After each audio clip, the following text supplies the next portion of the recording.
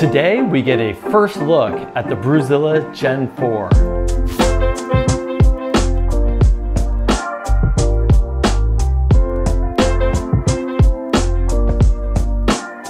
If you've seen any of my shows, you know I love the previous version of this Brewzilla, but the Gen 4 offers even more.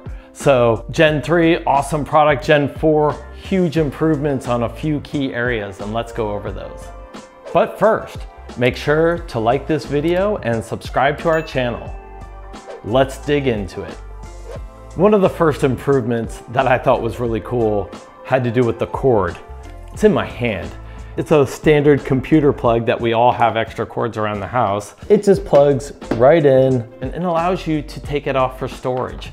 And you would think like, what's the big woo? But sometimes when you're walking it around and you have a little liquid in there and the cord's dangling on the ground, sometimes you step on it, sometimes you don't. But this just makes it easier for both moving it around and storing it.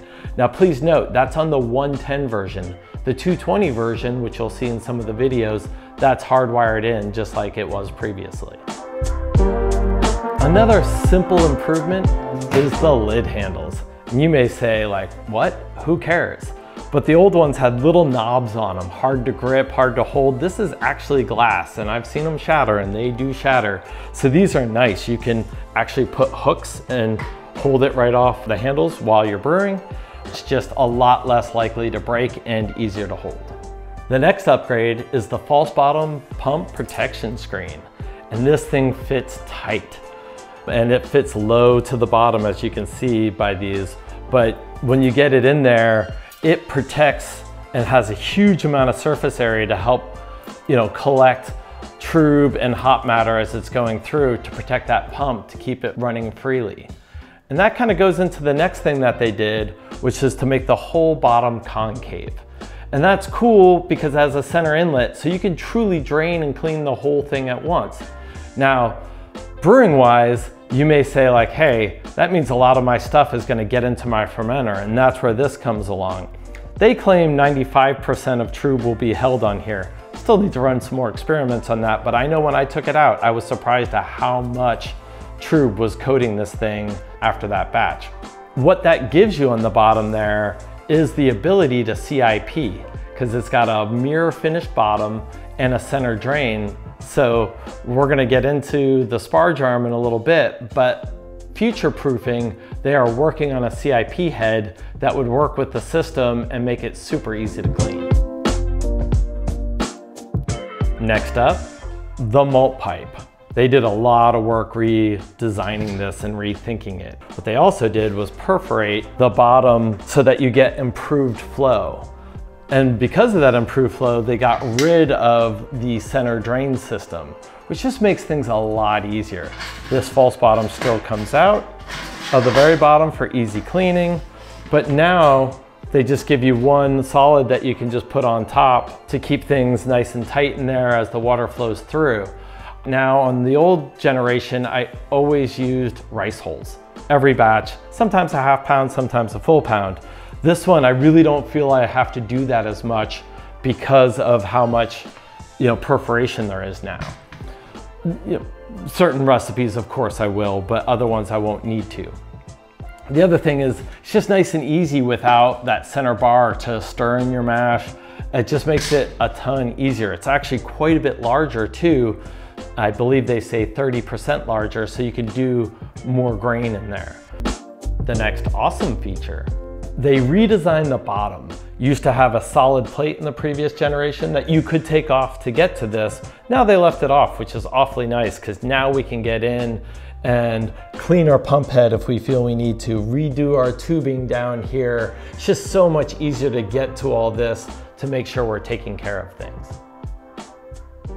The last and most important upgrade they did was the RAPT system. And it's a big encompassing thing. First off, just for those of us who have the old generation, we've moved from having a control panel down here to a control panel up here that tilts and angles, makes it nice and easy, or can go up on something on your wall or whatnot. It's not a huge cord, but it's plenty to get it out of your way. Super nice to just have that. The RAPT system allows you all the same controls right on board that you had before with the previous generation and introduces their whole web ecosystem. It's a web app, um, so nothing you have to download on your phone. You actually can get to it from your computer or from your phone, which makes it nice because some things I like to do on my computer, but it lets you design your MASH profiles and time of alerts to a lot of things. You can also do all of that right here on the screen as well. We're gonna do a brewing demonstration of that in the next few weeks, so you're gonna be sure to wanna check out that video. The RAPT system is really cool. It works natively locally right on this screen, which is great. And then they have a whole cloud-based control system, and that's Wi-Fi, and that's built right in ready to go. In addition to that, it also has Bluetooth, and they are working on more products to accompany it, such as a Bluetooth thermometer that can be built in anywhere you want in the malt pipe, which will be really cool when it comes out. So not only is it awesome for the current, where you can use the web or um, locally to set up your MASH profile and things like that. But then it'll have cool stuff that'll come down the line. All these improvements were super nice.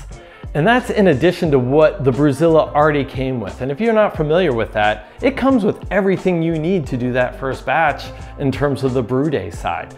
It comes with the sparge arm, it comes with the wort chiller, it comes with the ultra low watt density burners, meaning you're not gonna scorch that bottom.